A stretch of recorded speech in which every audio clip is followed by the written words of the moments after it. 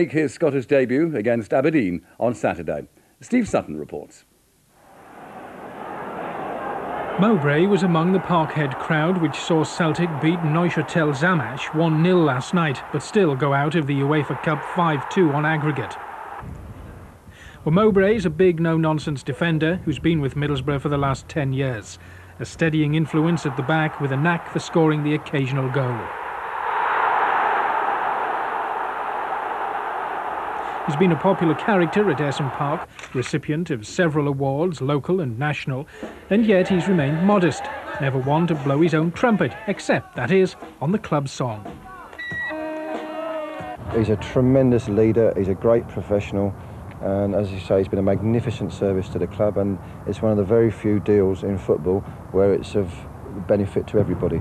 You know, the transfer fee's a million pounds, which is one hell of a lot of money for somebody who's although he's a fine player at his 28 years of age, I think Celtic need him.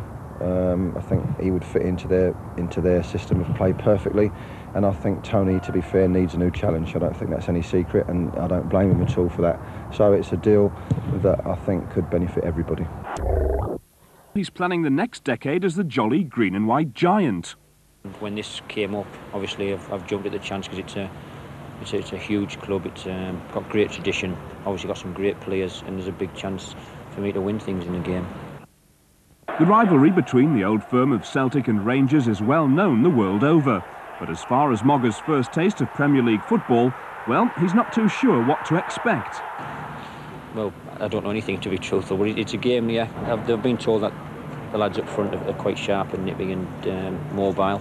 But um, you know, it's, it's, it's again, it's, it's, another challenge for me. I'm looking forward to it, and I'll go out there and give 100% as I always do, and uh, hopefully it'll turn out for me.